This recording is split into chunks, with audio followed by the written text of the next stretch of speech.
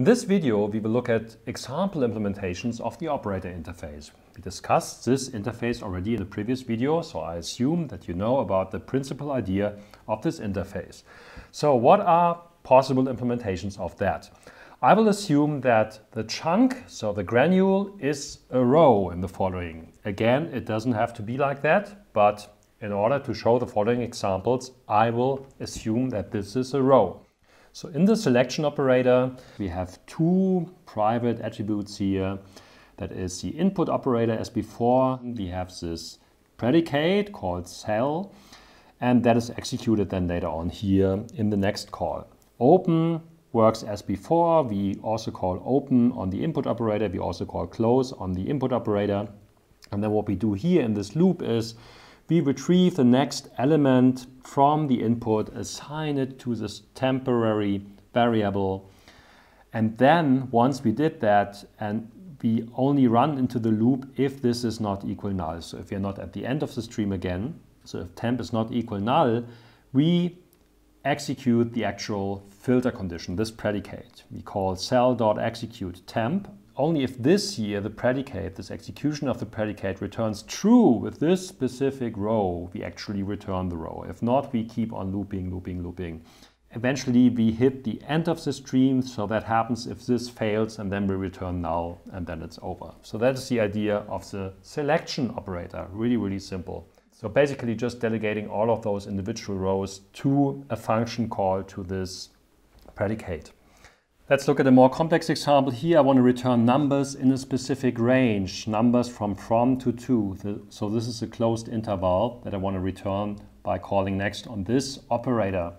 So what I do here is I keep those boundaries of the interval. I assign this to the internal variables from and to open and close don't do anything, but then here what happens in next, I could run a loop. I could say I initialize this loop iterating over current and it starts with from, checks this condition and then always increments this variable.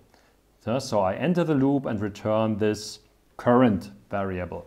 Of course, this doesn't make sense at all. Yeah, let's really write it down. This is wrong, of course, because every time I enter this function call, I will be returning, I will be reinitializing this variable. So if this is set to whatever, from and to is set to, let's say, 42 to 77. Every time I call next here, I set current to 42 and return 42. So the sequence being returned here is 42, 42, 42, 42, and so forth. And it will never stop returning elements. That's not what we want to have, obviously. So in these kind of situations, it's important to keep the state that I use in a loop as part of the class, the outside class. This should be an attribute, this should be the state, and how that works is shown here. That is the correct way of doing that. Here I use an extra integer variable reflecting the current number I'm about to return. So this looks very similar to what we had before. So also before, if you go back to this wrong example, we initialized these from and to variables with the ranges I'm interested in. But I have this third variable, which is initialized in the open call. So here I set current to be from. That is the starting number I want to use.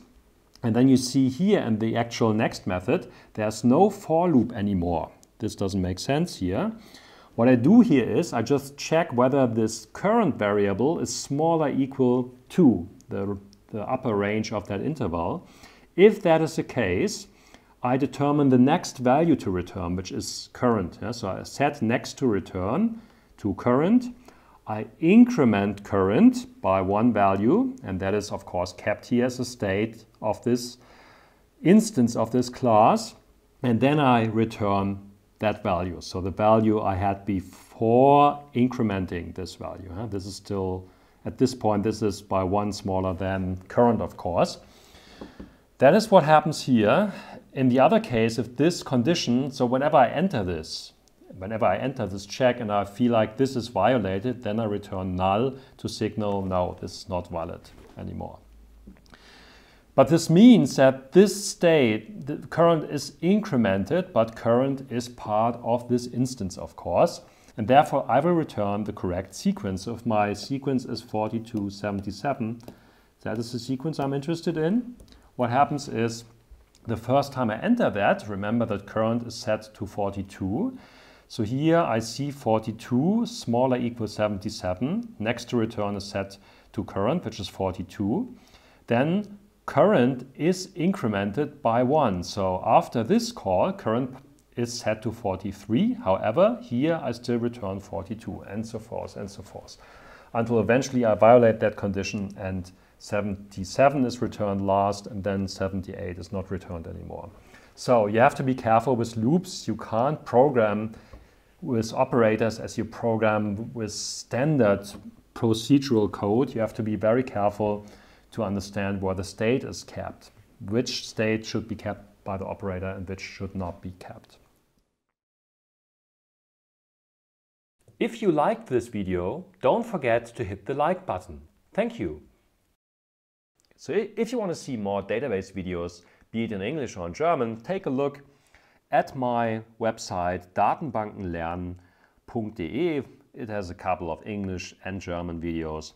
You can also subscribe to my YouTube channel, Jens Dittrich, or you look at our website infosys.uni-saarland.de. See you there!